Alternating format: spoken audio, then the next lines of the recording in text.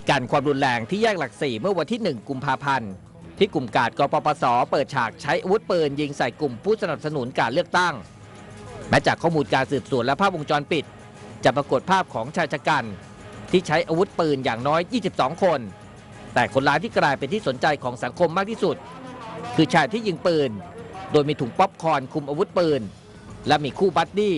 คอยส่งสัญญาณทั้งการถอยและการยิง จนทำให้ได้รับฉายาว่าเป็นมือปืนป๊อปคอน ซึ่งทราบต่อมาว่าคือนายวิวัฒยอดประสิทธิ์ ที่อยู่ในเป้าหมายการจับกลุ่มของตำรวจ จากการตรวจสอบประวัติของนายวิวัฒพบว่าไม่ใช่ทหารอย่างที่มีการตั้งข้อสังเกต ถึงท่าทางการยิงแต่อย่างใด ซึ่งตรงกับจุดสังเกตของตำรวจชุดสืบสวน ที่พบความผิดสังเกตของการยิงปืน เพราะหากเป็นผู้ชำนาญ การคุมอาวุธปืนจะทำได้นิ่ง แต่ภาพที่เห็น กลับพบว่าหลังยิงปืนแล้วปืนจะสะบัดและควบคุมปืนไม่ได้ทำให้ชุดสืบสวนตีวงแคบ โดยนำภาพของมือปืนป๊อปคอนตอนถอดหน้ากากไหมพรม ไปตรวจสอบกับทะเบียนประวัติอาทยากร จนพบว่าเหมือนกับนายวิวัฒยอดประสิทธิ์ ที่เคยถูกตำรวจภูธรอำเภอนครไทย จังหวัดพิษณุโลกจับกลุ่ม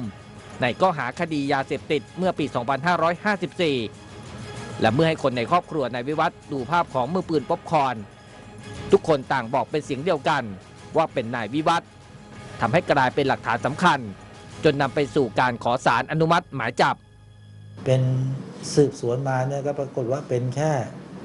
คนธรรมดาอืมไม่ได้เรียนไม่ได้เรียนอะไรครับบ้านก็ฐานะยากจนครับอยู่ที่นครไทยครับครอบครัวค่อนข้างแตกแยกอืมสืบแล้วเป็นวัฒทหารนั่นไม่ใช่ครับผมเป็นคนธรรมดาที่เข้ามาร่วมอืมกับม็อบเฉยขณะที่หลังพ้นโทษ นายวิวัฒน์ได้เริ่มต้นชีวิตเป็นการ์ด hardcore แบบเต็มตัวทันที โดยได้เดินทางเข้ากรุงเทพกับนายเล็กปากแดง เพื่อมารับจ้างเป็นการ์ดให้กับกลุ่มกปปส โดยอยู่กับกลุ่มองค์ดำหรือกลุ่มพญาชิงชัย ที่เคยมีบทบาททำหน้าที่การ์ด hardcore ให้กับกลุ่มพันธมิตร โดยนายวิวัฒน์จะทำหน้าที่การอยู่ที่เวทีการชุมนุมถนนแจ้งวัฒนะ เพื่อดูแลความปลอดภัยให้กับแกนนำ นอกจากนี้การสืบสวนอย่างพบว่านายวิวัฒน์เคยไปร่วมชุมนุมเหตุการณ์ ความรุนแรงที่สนามไทยญี่ปุ่นดินแดงมาแล้วเช่นกันๆแล้วก็ว่าทางญาติก็ให้การให้ความร่วมมือ ให้การยืนยันว่า เป็นบุคคลคนเดียวกับในรูปอืมฮึมองตาก็รู้แล้วอืมคือญาติยืนยันเลยมองตาก็รู้เลยเพราะว่ามีเป็นมีญติภาพอยู่ภาพหนึ่งซึ่งเผยดวงตาออกมาอืมในช่วงยิงเนี่ยครับ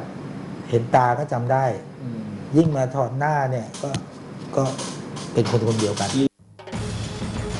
การจับกลุ่มนายวิวัฒน์ได้ที่จังหวัดสุราษฎร์ธานี จึงอาจเป็นกุญแจดอกสำคัญ ที่ไขไปสู่กลุ่มกาดกปปส ที่ตั้งตัวเป็นกองกำลังติดอาวุธ ที่เคยก่อเหตุมาแล้วก่อนหน้านี้